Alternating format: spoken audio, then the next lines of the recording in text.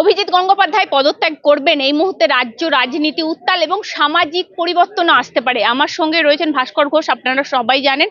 ভাস্কর দা কি মতামত দিচ্ছে? আমি আপনি সরাসরি আপনার সঙ্গে, উনি রাজনীতির ময়দানেও নামতে পারেন কারণ উনি আমাদেরকে বলেছেন যে আমাকে দালাল, আমাকে কুৎসিত ভাষায় শাসক দলের মুখপাত্ররা আক্রমণ করেছে।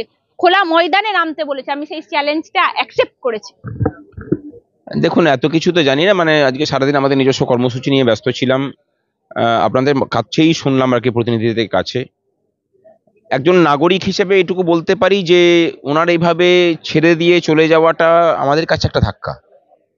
আমরা যারা ওনাকে একটা প্রতিষ্ঠান হিসেবে দেখেছি এবং ওনার কাছ থেকে ন্যায় বিচার পেয়েছি, যদিও সবটাই যে ন্যায় বিচার হয়েছে সেটাও বলছি না।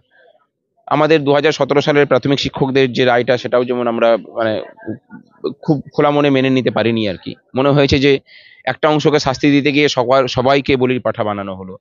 কিন্তু তথাপি মানে একটা জায়গায় বলা যায় যে বিচার ব্যবস্থার প্রতি যে হারিয়ে যাওয়া বিশ্বাস, সেই বিশ্বাসটাকে উনি একটা প্রতিষ্ঠান হয়ে উঠে প্রতিষ্ঠা করেছিলেন। এবং এখনও যে বেঞ্চটাতে গিয়েছিলেন, আমাদের বুকে খুব আশার সঞ্চার হয়েছিল যে এই লেবার বেঞ্চ এবং এই ইন্ডাস্ট্রিয়াল বেঞ্চ শিক্ষা দুর্নীতির থেকে আরও অনেক বড় দুর্নীতি এখানে ঘটে চলেছে। প্রতি মুহূর্তে সরকারের মানে গাইডেন্সে এখানে লেবার অ্যাক্ট ভঙ্গ হচ্ছে। অস্থায়ী কর্মচারীদের পিএফ এর টাকা কেটে সেই টাকা জমা হচ্ছে না। আমরা আশা করেছিলাম যে তার কাছে কেস করে হয়তো সেগুলোর মানে সুরাহা পাবো, আমরা ন্যায় বিচার অন্তত পাবো। সেটা ধাক্কা খেলো। আর উনি যে কথা বলেছেন, বলছেন যে রাজনীতির ময়দানে হয়তো যেতে পারেন। দেখুন, ভারতবর্ষে যে কোনো মানুষের রাজনীতিতে নামার অধিকার আছে। তবে এটা এটা, এটাও খুব সত্যি কথা যে ওনাদের মতো মানুষরা যদি রাজনীতিতে আসেন, তাহলে এই ব্যবস্থাটারই বদল ঘটবে বলে আমরা মনে করি। মানে আমি অন্তত ব্যক্তিগতভাবে মনে করি।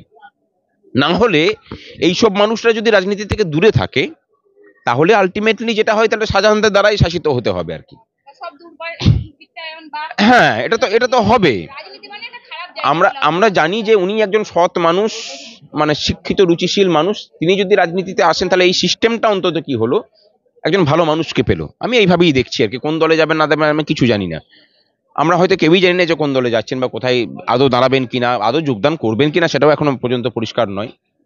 তো- বলি আমাদের কাছে যা খবর আছে উনি বিজেপিতে জয়েন করতে খুব শীঘ্রই আর, উনি রাজনীতিতে নামবেন, বৃহত্তর স্বার্থে। মানুষের স্বার্থে উনি না, দেখুন মানে কোথায় যাচ্ছেন, না যাচ্ছেন, আমি এই মুহূর্তে আপনাদের কাছে যে খবর পাচ্ছি, আমাদের সেটা নিয়ে কোনো কিছু বক্তব্য নেই। কিন্তু আমি এটা মনে করি যে, বৃহত্তর পরিসরে মানে এই রাজ্য অন্তত একটা ভালো মানুষকে পাবে মানে এই সিস্টেম একটা ভালো মানুষকে পাবে যেখানে আমরা সৎ মানুষের অভাব দেখছি। পশ্চিমবঙ্গের সমস্যা কিন্তু অন্য কিছু নয়। হ্যাঁ, কোনোদিনই সেটা ছিলেন না। ওই সততাটা উনি নিজেই বলেছেন। স্বামী বিবেকানন্দকে কোনোদিন বলতে হয়নি যে আমি সব সত্যি কথা বলি। যারা অসৎ হন তাদেরকে সেই বিজ্ঞাপনটা দিতে হয় সততার প্রতীক। বিজ্ঞাপনটা কে বানিয়েছে? উনি নিজেই বানিয়েছিলেন তো।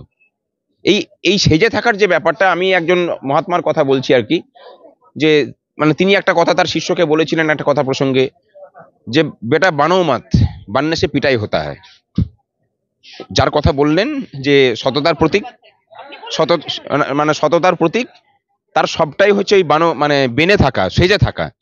সেই জন্য পিটাই শুরু হয়েছে, দেখুন। বেশি দিন কথা তো নয়, মাত্র বারো বছরের ক্ষমতা পেয়েছেন। তার মধ্যেই পিটাই শুরু হয়ে গেছে। এখন ওনার ছবিটা দেখুন, যে কোনো মানুষ, একটা বাচ্চা বাচ্চা ইয়ে আসে এখানে মানে বাড়ি ছেলে মেয়েরা আসেন, তারাও পর্যন্ত খারাপ কথা বলছেন। মানে ইমেজটা কোথায় গেছে?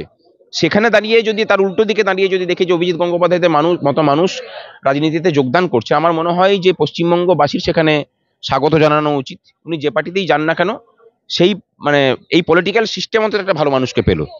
অভিষেক নামও নিতে চাননি উনি নাম আমি রাজনৈতিক, রাজনীতিতে আমি যোগ্য হিসেবে মনেই করি ওইটা নিয়ে আমি কিছু বলতে পারব না, এটা ওনার ব্যক্তিগত মতামত। আমি শুধু একটা ঘটনার কথা উল্লেখ করি, আমরা অনেকেই অনেক সময় বলে থাকি যে, আন্না হাজারের মুভমেন্ট হলো, সেখান থেকে ফায়দা নিয়ে কেজরিওয়াল রাজনীতিতে চলে গেলেন, দল খুললেন। একটা কথা বিশ্বাস করুন, যে কেজরিওয়াল তো এসে পরে একটা বিকল্প পথ তো দেখিয়েছেন। আমরা পশ্চিমবঙ্গের মানুষ এটাকে গ্রহণ করতে পারিনি বলেই পশ্চিমবঙ্গের মানুষের এই অবস্থা, দুর্দশা। দিল্লির মানুষ কিন্তু তাকে গ্রহণ করেছে। দিল্লিকে তো নতুনভাবে সাজিয়েছেন। শিক্ষা ব্যবস্থার উন্নতি হয়েছে, স্বাস্থ্য ব্যবস্থার উন্নতি হয়েছে, একটা নতুন দিশা দেখিয়েছেন। এবং সেই শিক্ষা ব্যবস্থা এবং স্বাস্থ্য ব্যবস্থা কিন্তু গোটা ভারতবর্ষকে নয়, গোটা পৃথিবীকে হয়তো পথ দেখানোর দিকে নিয়ে যাচ্ছে। তাহলে ভালো মানুষরা আসুক রাজনীতিতে, না হলে তো এই লুম্পেনাইজেশন বন্ধ হবে না কোনোদিনই। অভিজিৎ গঙ্গোপাধ্যায় ভার্সেস মুখ্যমন্ত্রী মানে আমাদের মমতা বন্দ্যোপাধ্যায়। যদি দেখি ভাস্কর ভাস্কর দা কি বলবেন? অবশ্যই ভালো মানুষের সৎ মানুষের পক্ষেই থাকব। তাতে তিনি যে দলই থাকুন না কেন যারা যারা সৎ মানুষ রাজনীতিতে আছেন তাদের সকলের পক্ষে মানে অবশ্যই। ব্যক্তি দিয়েই তো সিস্টেম চলে। কোনো করাপ্ট মানুষ কোনো সৎ সিস্টেমকে রান করাতে পারে না। সিস্টেমটাও করাপ্ট হয়ে যায়। কিন্তু একটা সৎ মানুষ একটা করাপ্ট সিস্টেমকেও কিন্তু সৎ করতে পারেন তার ব্যক্তিগত ইন্টেন্ট দিয়ে। অভিজিৎ গঙ্গোপাধ্যায় পদত্যাগ করছেন। তিনি বৃহত্তর মানুষের স্বার্থে তিনি রাজনীতিতে আসতে চলেছেন। আপনারা কি সমর্থন করছেন? বিষয়টা হচ্ছে ওনার ব্যক্তিগত মত উনি যেটা ভালো মন মনে করেছেন সেটাই করবেন। আমরা আশাবাদী আবার হতাশাও আমরা হসা হতাশাতেও রয়েছি। কারণ হচ্ছে গিয়ে উনি যে পদটাতে ছিলেন সেটা শুধু আমরা বলে না গোটা পশ্চিমবঙ্গবাসী ওনার দিকে তাকিয়ে ছিলেন। আহ, যে স্বাভাবিকভাবে একটা উনি তো জাজদের যে একটা মানে বোল্ড ডিসিশন সেটা ওনার কাছ থেকেই হয়তো কলকাতার মানে হাইকোর্ট জাজরা হয়তো সিদ্ধান্ত নিতে মানে সুবিধা হচ্ছিল। তো সেক্ষেত্রে আমাদের কাছে এই দিক থেকে দেখতে গেলে তো এটা একটা খুবই দুর্ভাগ্যজনকই বলা যেতে পারে। বারবার শাসক দল মুখপাত্ররা আমাকে আক্রমণ করেছে দালাল বলেছে বলেছে মাঠে নেমে দেখাও ময়দানে নেমে দেখাও লড়াই করে দেখাও। এই দিক থেকেই হ্যাঁ একদম একদম একদমই এই দিক থেকে এবং উনি যে ডিসিশনটা নিয়েছেন ওনার হয়তো খুব জোর আর কয়েক মাসই মনে হয় রিটায়ারমেন্টের ছিল। সেই দিক থেকে যদি বিশ্লেষণ করে দেখি আমার মনে হয় উনি একদম সঠিক ডিসিশন নিয়েছেন। কারণ হচ্ছে গিয়ে ওনার আর দু তিন মাসের পরে এই পদটা যখন থাকতো না তখন উনি কিন্তু কোনো রকম মানে মানুষের ভালো কাজের জন্য হয়তো নিজেকে সেইভাবে হয়তো নিযুক্ত করতে পারতেন না। কিন্তু উনি যে বড় প্ল্যাটফর্মটা বেছে নিলেন, তাতে মানুষ হয়তো আরও ওনার কাছ থেকে আরও প্রত্যাশা হয়তো বেড়ে গেল মানুষের। তো সেই দিক দিয়ে আমাদের কাছে মানে বললাম না, এটা মিশ্রিত একটা ফল। সামনের দিন বোঝা যাবে যে উনি কোন মানে কীভাবে এটাকে ইয়ে করছেন। শুভঙ্কর দা, একদম সরাসরি মমতা বন্দ্যোপাধ্যায় ভার্সেস অভিজিৎ গঙ্গোপাধ্যায় যদি হয়, আপনারা কাকে সাপোর্ট করবেন? কারণ সততার প্রতীক মমতা বন্দ্যোপাধ্যায় নিয়ে এসেছিলেন, আর এই মুহূর্তে সৎ ব্যক্তিত্ব বলতে অভিজিৎ গঙ্গোপাধ্যায়কে বোঝায়।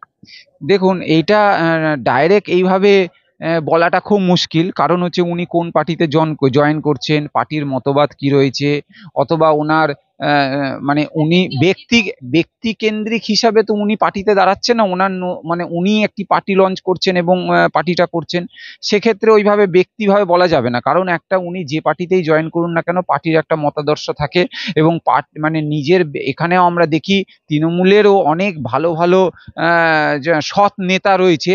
কিন্তু তারা আজকের ডেটে মুখ খুলতে পারছেন না। মানে পার্টিতে যখন কেউ আসে, তখন তার ব্যক্তিগত হয়তো অস্তিত্বটা অনেক জায়গাতেই ঢাকা পড়ে যায়।